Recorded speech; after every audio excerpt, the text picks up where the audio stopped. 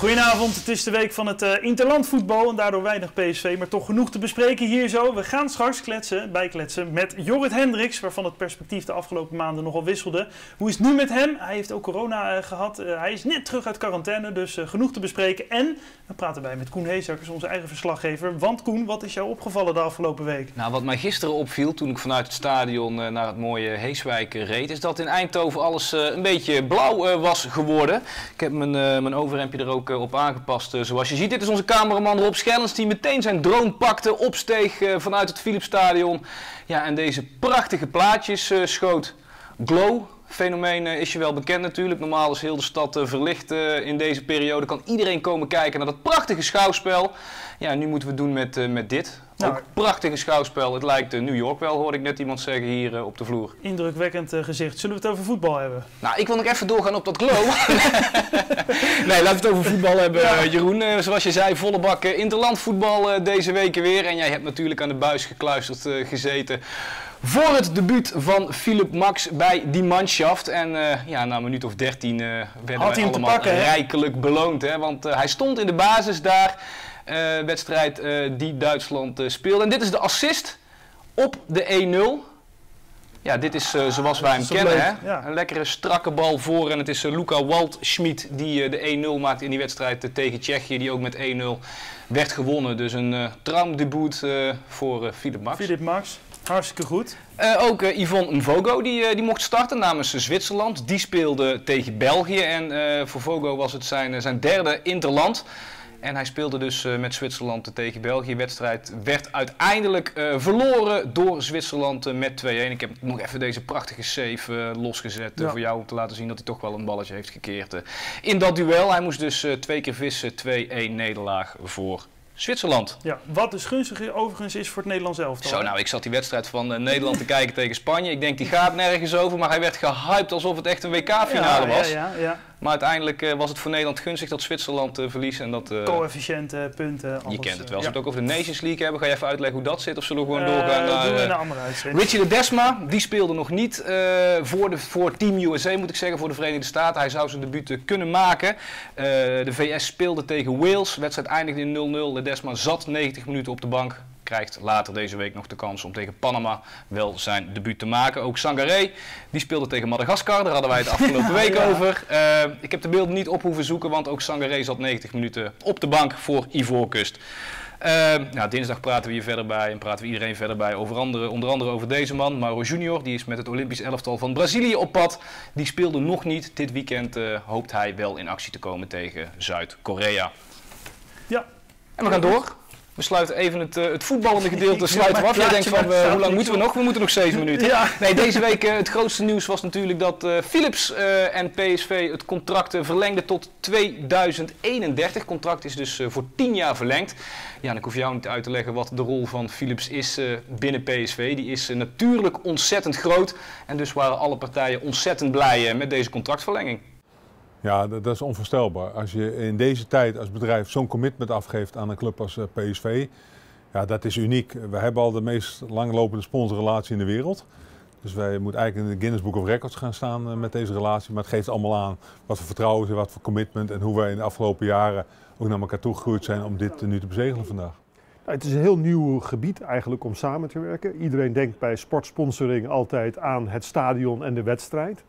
En wij hebben dat eigenlijk gezamenlijk verlegd naar de training en voor de wedstrijd. Uh, want als sporters gezond zijn, uh, kunnen ze zich maximaal inzetten om te winnen. Uh, en wij zijn uitermate geïnteresseerd in dat hele begeleidingstraject van de sporter. Ja, dat is onvoorstelbaar. Zeker in deze tijd waar ja, toch heel veel bedrijven echt over nadenken zijn van wat moet ik met de sportsponsoring? Gaat dit dus vele malen verder? Het is niet meer een naam op het shirt alleen. Brainport vertegenwoordigt de manier van denken met elkaar. Ja, en als dan een grote partij als Philips zegt, ja, we willen in ieder geval nog tien jaar op het stadion blijven staan. Ja, dat is een mega beslissing. Uh, het langslopende contract, wat er ook volgens mij in Nederland is op dat uh, gebied. En uh, ja, naar ons toe een vorm van vertrouwen dat ook het Brainport-concept waar we in, in, gestapt zijn met elkaar, het eerste signaal nu komt van een heel groot bedrijf. Zegt, ja, dit willen we omarmen. Nou, goed verhaal. Ja, en in het kader van die contractverlenging doken wij wat verder in de historie eh, van PSV en ook in de historie van Philips en PSV. En uh, dat, result ja, dat resulteerde in een hele mooie special. Uh, PSV en Philips toen, nu en morgen. Die is te zien hier op Fox. Ook te zien op het YouTube-kanaal van PSV. En kijk even mee naar een fragmentje uit die special. Nou, sowieso een heel klein stadje, wat in één keer, uh, waar in één keer het bedrijf Philips zich ging, vestigen. Uh, hier in Strijp, in uh, Philipsdorp. En ja, die trokken natuurlijk heel snel veel, veel nieuwe werknemers aan. Dus dat kleine stadje, dat was, ja, dat was voor Philips te klein om, om verder te kunnen groeien. en dat is de basis geweest. Vandaar het heeft, heeft Anton Philips met name sterk de nadruk op gelegd om ook die mensen vertier en ontspanning te kunnen bieden. Mensen moesten hier eh, zich thuis gaan voelen, eh, prettig kunnen wonen. En van daaruit is ook de behoefte aan sport en recreatie natuurlijk ontstaan en, en PSV eh, opgericht. Het meest bijzondere verhaal is en blijft elke keer weer, ook als de buitenlandse spelers hier komen, dat ik uitleg dat dat veld al 107 of 108 jaar op dezelfde plaats ligt.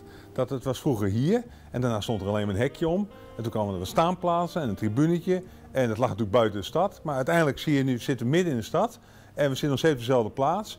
En ja, de gemeente, terwijl heel veel mensen uh, gemeentes de stadion uit de stad willen hebben, wil deze gemeente dat niet. Dat is uniek, dat, dat past hier en uh, dus dat houden we hier. En ja, dat, dat begint onderscheidend te worden. Ja, terug naar de roots van uh, eh, PSV onder de vleugels van Philips. Absoluut een must-see voor iedereen die uh, ja, uit Eindhoven en omstreken komt. onderdeel van de opvoeding lijkt nou, mij. Lijkt me wel. En ook onderdeel van de opvoeding als je PSV-supporter bent is natuurlijk uh, Luc Niels. De man die was gisteren in het, in het Philips-stadion. Wij spraken even met hem bij. hij heeft een roerige periode achter de rug. Was werkzaam in Turkije met de nadruk op was. Want dat avontuur ja, dat duurde niet heel lang. En ja, ik vroeg hem daarnaar. Vanaf het moment dat ik dan beslist om naar Turkije te, reizen, met, samen terug te werken met Fuat uh, Chapa. Als coach uh, ben ik begonnen bij de club Ankara Gucu in Ankara. En ik moet zeggen, tot uh, die stap niet, achteraf gezien is makkelijker natuurlijk om te zeggen van had ik het maar niet gedaan. Maar ja, kijk, ik heb het geprobeerd, maar het was niet wat ik ervan verwacht had. Wat had je ervan verwacht? Uh, goede omstandigheden om te werken, een club die correct is, laat me zeggen, de corona heeft een rol gespeeld met uh, ook veel coronagevallen binnen de club. Dus dat was voor mij pendelen tussen het uh, oefencomplex en het hotel om, om toch maar safe te blijven, om, om niet het uh, virus te pakken te krijgen. En, en dat begon te werken op mijn gemoed, op, op de eenzaamheid uiteraard. je spreekt de taal niet, je komt niet buiten het hotel, je komt niet buiten het complex, dus dat werd moeizamer. de resultaten die tegenvielen op sportief vlak kwalitatief niet genoeg kwaliteit in, in het team. En, en dan daarbovenop ook uh, al na drie maanden, twee maanden geen loon betaald gekregen. Uh, niet dat ik uh, zal zeggen, financieel is het belangrijkste, maar als je qua respect uit wat ik altijd heb gekend in voetbal, in Europa is dat niet zozeer het geval dat je lonen niet betaald worden, maar in Turkije gebeurt dat wel vaker. Alleen omdat ik dan de coach heel goed ken, ga je ervan uit dat dat gebeurt. Maar ja, dan moest ik iedere keer bij hem gaan aankloppen hoe zit met loon en dergelijke. Dat, dat is ook niet, zit ook niet in mijn aard om te gaan bedelen. Maar uiteindelijk heb ik dan ook die knop omge, omgedraaid en gezegd van kijk, uh, als, als, er, uh, als ik geen. Als ik niet gelukkig ben daar, uh, door omstandigheden wel buiten het voetbal, ook sportief, maar dan ook nog eens financieel, heb ik beslist om terug te keren naar België. Nou, heeft hij al een nieuwe club gevonden eigenlijk? Hij heeft nog geen nieuwe club uh, gevonden, maar hij staat wel te popelen om weer aan het werk te gaan. Want ik vroeg hem natuurlijk ook van ja, hoe nu verder? Nu de eerste dagen, weken afwachten wat, wat er op mij afkomt, wat op mijn pad komt. Uh, ik ben uh, ondertussen ingeschreven voor de WFA-licentie te volgen, dus zodat ik ook eventueel als assistentcoach, niet alleen als spitsentrainer, maar ook assistent kan zijn bij een eerste elftal of dergelijke. Dus we gaan zien wat, wat er komt. Uh, ik heb geen idee. Nee, uh, ik ga ervan uit dat er iets komt. Dus, uh. Ja, als wij berichten lezen over Luc Niels vertrekt uit Turkije, daaronder wordt altijd al gepost. Je bent altijd welkom bij PSV. In hoeverre is dat een optie? Of zie je dat zitten? Dat is altijd een optie, uiteraard. PSV, ik heb al gezegd, PSV is mijn club, zal altijd mijn club blijven. Maar ja, dat is niet aan mij om, om, om daarin te beslissen of ik daar daarin een optie ben voor uh, eventueel uh, terug te keren. Dus, uh, dat is de sportieve sector die er zal over beslissen. En van daaruit zal ik, zullen ze mij misschien contacteren of niet. Uh, dat, dat ligt niet aan mij uiteraard. Nou, je kunt hem alleen maar het allerbeste wensen, deze PSV-legend. Ja, het is en blijft een PSV-legend inderdaad. Uh, Goed nieuws wel uh, voor meneer Niels, opa Luc mogen we bijna zeggen. Want zijn zoon Arne, die hier ook nog in de jeugd speelde, bij jong PSV een minuten maken, maakte. Die wordt over een, over een week of twee, wordt die papa en dus wordt Luc opa. Wordt opa voor de eerste keer, dus ook iets heel apart, heel speciaal. Het zal natuurlijk niet zo makkelijk zijn om contact in het begin te krijgen, want in België is ook de lockdown. Dus het zal van, van ik denk achter het raam om, om een goede dag te zeggen, zomaar blijft, blijft uniek. En, iets om naar uit te kijken. Ja, ja tot zover uh, Luc Nielis. Koen, dankjewel. Ja, het was me waar genoeg, Jeroen. Wil jij straks aan die kant eruit lopen, want Jorrit Hendricks staat daar klaar? Ik uh, ga ontzettend veel haast maken. Oké, hartstikke goed. En blijf vooral even zitten, want straks uh, dus bijzonder gesprek met Jorrit Hendricks, de ervaren man bij PSV, die net terug is van zijn quarantaineperiode. Tot zo.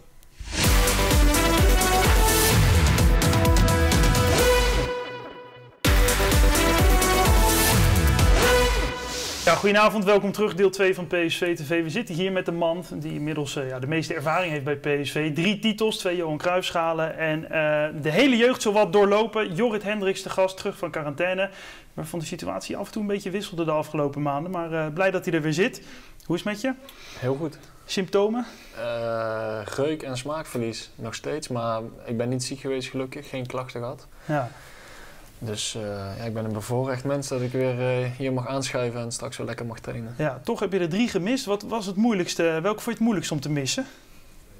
Je hebt ADO gemist, Willem II en PAOK. Ja, dan zou je zeggen PAOK, omdat je daar punten hebt laten liggen. Maar uh, ja, elke wedstrijd is er één. Dus elke wedstrijd die je mist, is er toch weer één. Dus ja, de wedstrijden volgen elkaar in een heel rap tempo op. Dus uh, ja, als je een positief test, dan weet je dat je er minimaal drie mist. Ja, als je Pauk dan ziet, zit je dan ook op te vreten en denk je van, ah, machteloos. Hier had ik bij willen zijn. Ja, natuurlijk, maar dat heb je bij elke wedstrijd. Maar zeker als je het dan naar rust zo fout ziet gaan, dan denk je wel van, ja, ja ik weet niet of het echt schuldig, uh, schuldig voelen is. Maar ja, ja, je kunt er niks aan doen aan je positief test, want ja, je bent zo voorzichtig mogelijk. Ja. Maar ja, dan heb je inderdaad geen directe invloed op het team. En, ja, dan zit je bij wijze van spreken zelf nog mee te schoppen met je voeten thuis op de bank, maar dat heeft geen effect. Het kwam wel echt op een heel slecht moment, zeker omdat de ploeg al uh, ja, behoorlijk getroffen was. Maar ook denk ik voor jou persoonlijk, want ook jij uh, ja, zat voor mijn gevoel wel weer goed op, uh, op de goede weg. Ja, ik, ik, ik, had daarvoor al drie wedstrijden weer gespeeld, zeker ondanks omstandigheden. En ehm, ja, die lijn wil je graag doortrekken, maar je wordt gewoon in één keer weer eruit getrokken. Ja. Spreek niet alleen voor mezelf, ook voor die anderen. Ja, je gaat van 100 in één keer uh, naar 0 en uh, daar zit je dan 10 dagen. En dan, uh, ja, dan moet je in één keer weer, weer aansluiten. Maar je bent het wel met me eens dat dat perspectief op sportief gebied eigenlijk wel weer heel goed voor jou eruit zag. Je, je maakt je minuten. Ja, tuurlijk. Kijk, vanaf het begin speelde ik niet. mondjesmaat viel ik in. En ja, als er andere jongens wegvallen, dan, dan komen er weer kansen natuurlijk. En ja, dat was op zich voor mij wel lekker. Maar gooit corona weer goed in het eten. Ja, uh, even, waar, waar heb je nou de afgelopen maanden allemaal gespeeld? Je hebt op best veel posities gestaan. Uh, ja, voornamelijk wel gewoon op het middenveld uh, en centraal achterin mijn laatste wedstrijd.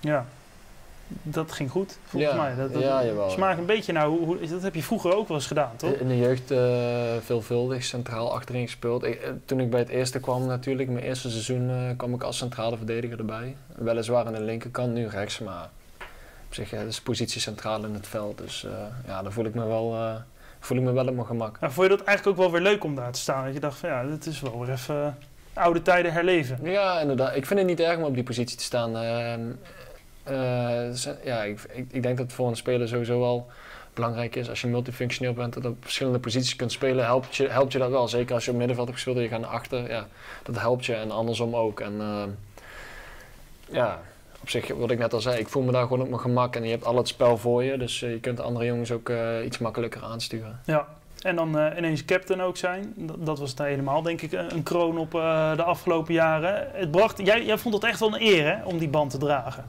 Ja, tuurlijk. dat, dat, dat, is sowieso. Je bent ja, niet de eindverantwoordelijke, maar ja, je hebt toch een bepaalde verantwoordelijkheid naar je team toe, naar je teamgenoot. En zeker op dat moment waren we gewoon heel erg verzwakt. Ik bedoel, we misten gewoon heel veel jongens. En uh, ja, op een gegeven moment dan, wat je net al zei, dan ben je een van de meest ervaren spelers. En En dan krijg je die band om je armen. Ja, natuurlijk, eh, dat, is, dat is natuurlijk een eer. Dat, dat kun je niet iedereen eh, vragen die aanvoerder is. Maar ja, ik vind het op zich wel, wel fijn. Ja, kan je ook verschil maken echt op zo'n moment als je die band draagt?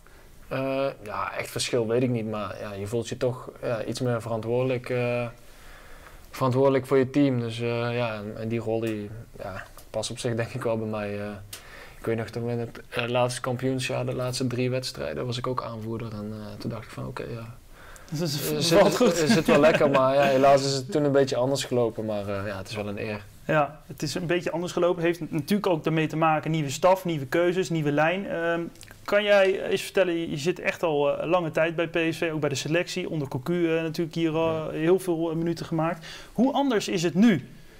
Nieuwe groep, nieuwe trainer, nieuwe Ja, cultuur misschien Nee, wel. ehm, ja, elk jaar is de samenstelling van het team anders. Maar ehm, ja, toen ik erbij kwam was, eh, was Philip dan de trainer. En eh, die is vier of vijf jaar hoofdtrainer geweest. Dus voor mij was het niet anders dan dat hij de hoofdtrainer was. En toen, eh, toen eh, Mark van Bommel trainer werd, ja, dan, dan is gewoon de hele visie, is, is weliswaar, dat heeft elke trainer heeft een andere visie, een andere, andere kijk op het spel. Ja, dat, dat verandert ook de manier van spelen, hoe, hoe spelers daarop ingaan. Daar worden spelers voor gehaald voor een bepaalde, bepaalde spelwijze. Dus je hebt, ja, ik heb heel veel spelers zien komen en gaan. En ik ben eh, nog de enige, zo voelt het voor mij, die over is zeg maar, toen ik er in het begin bij kwam. Dus ja, het team en de sfeer in het team en ja, de nieuwe generaties, spelers worden steeds jonger. Ja, dat, ja, de samenstelling van het team wordt wel steeds anders, ja. Ja, dan ben je 25 ben je nou. 25 Dan jaar. ben je op je 25 gewoon de meest ervaren speler. hè. Je- je- Ja, maar ja, in dat het kunnen hedendaagse voetbal eh, eh,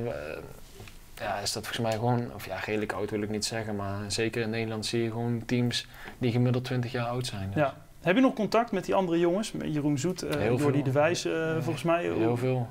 Eh, Of ja, heel veel. Ik kan ze op één hand tellen, maar ik bedoel, ik heb wel echt hele goede vriendschap overgehouden aan die tijd dat ik hier heb gespeeld. En de jongens die er zijn geweest, ja, kan ik op één hand tellen, zijn er vijf dan.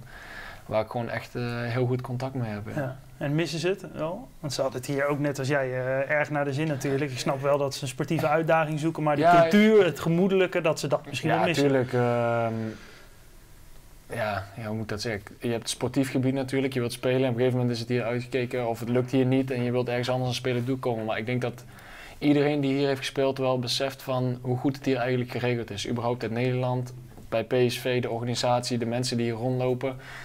Ehm, ja, zo voel ik dat ook nog steeds. Ja, het is gewoon... eh, ja, natuurlijk, niet elke speler zal, zal het daarmee eens zijn. Ook ehm, zeg maar hoe het sportief gaat. Maar ja, wat je hier hebt, is eh, wat ik dan hoor van andere verhalen, zeg maar, is niet, is niet vanzelfsprekend, zeg maar, wat Ja. hier allemaal eh, wat hier voor je wordt geregeld. Nou, dat is mooi. Dat kan jij misschien een beetje in perspectief plaatsen, omdat je juist voor andere jongens spreekt. Is dat Ja. ook jouw rol? Is dat eh, benadrukt dat je dit seizoen ja, die rol wel moet aannemen? Om, om die cultuur een beetje misschien te bewaken? Of, of zie je dat niet zo? Nou, ik voel me niet echt een cultuurbewaker. Want ehm, nee, ja, kijk, ik probeer eh, andere jongens wel gewoon. eh, natuurlijk, je probeert iedereen wegwijs te maken. En dan ho- hoef ik niet te vertellen op het veld van je moet de bal zus of zo raken. Maar misschien buiten het veld om. Dat je eh, wel kunt overbrengen ja, wat er nog meer gevraagd wordt. Eigenlijk dan puur het sportieve, zeg maar. En dingen buiten het veld. Misschien die niet eens met voetbal te maken hebben, wat ook belangrijk is. Want ja, er komen toch steeds nieuwe jongens hier. En eh, je wordt hier neergezet, gevoetbald, maar ja, je hebt ook nog een leven buiten het voetbal. En als, als je daar een beetje geholpen wordt door die gasten wegwijs te maken, dan, eh, ja, geeft het mijzelf ook een beetje een voldaan gevoel, zeg maar. Tenminste, dat ik ze heb geprobeerd te helpen om een beetje wegwijs Een beetje te maken. te. En toch, na al die jaren hier bij PSV, afgelopen zomer, werd er een beetje geflirt misschien met een eh, ja, stap naar het buitenland. Wat, wat, wat is daar waarheid van, eh, Jorrit? Oh ja, maar daar heb ik ook geen, eh, geen geheim over gemaakt. hè. Dat was al na het eerste seizoen met, eh, met Mark, toen ik aan het einde van het seizoen niet meer speelde, was ik dicht bij een eh, overstap naar Bologna. Dat ging niet door. En, eh, ja, heel het seizoen eh, ja, is uiteindelijk dan gestopt vanwege, vanwege, vanwege corona. Uiteindelijk, na, na het ontslag van Mark, ging ik ook steeds meer spelen. Ook nog voor zijn ontslag zelfs, nog geblesseerd geweest. Dus op zich qua speelminuten zat het, eh, zat het zeker niet tegen. Maar ja, eh, op een gegeven moment wil je gewoon... Ja, je bent al zo lang bij de club, ondanks dat ik me hier nog steeds welkom... Of welkom, op mijn gemak voel en nog genoeg, of ja, hoe moet ik zeggen, uitdagingen. Dat ik hier echt gewoon naar mijn zin heb. Ja, En genoeg eh, punten voor verbetering zie, ben je denk ik als mens ook op een gegeven moment toe aan een nieuwe stap in je leven. En een nieuw avontuur, een nieuwe uitdagingen, nieuwe prikkels. En eh, dat maakt de mens en de voetballer denk ik alleen maar beter. Ja, is het in die zin misschien ook wel goed dat je nog even eh, hier bent gebleven? Omdat je zegt, nou, misschien nog de kans om wat meer te rijpen? Of, of had je dat wel echt toch wel graag gewild?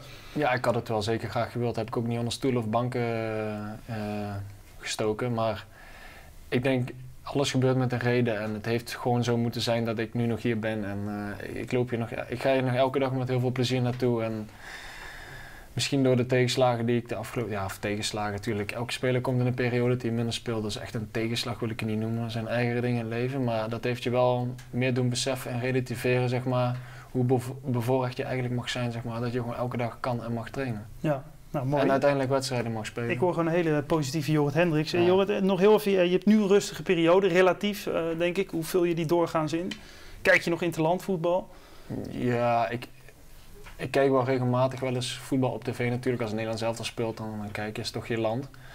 Maar, um, maar dat zijn maar drie, drie avonden zeg maar nu in de internetperiode. En voor de rest, ja, lekker veel tijd doorbrengen met de familie.